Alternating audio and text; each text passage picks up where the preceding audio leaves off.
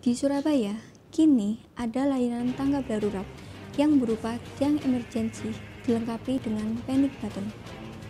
Aplikasi keamanan ini merupakan penunjang layanan tanggap darurat Command Center 112.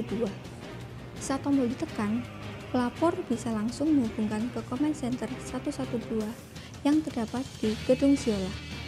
Operator Command Center 112 akan langsung merespon laporan dengan menanyakan kejadian, lokasi, dan identitas pelapor. Tiang emergensi ini dilengkapi dengan CCTV serta panel tenaga surya di atasnya, sehingga bisa beroperasi 24 jam tanpa gangguan listrik mati.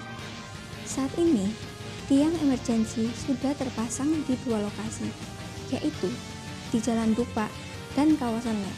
Nantinya, tiang emergensi akan dipasang di sejumlah titik rawan kejahatan dan kampung-kampung agar jika terjadi keadaan darurat, warga bisa segera melapor dan petugas terkait bisa segera menuju lokasi tanpa jeda waktu yang lama.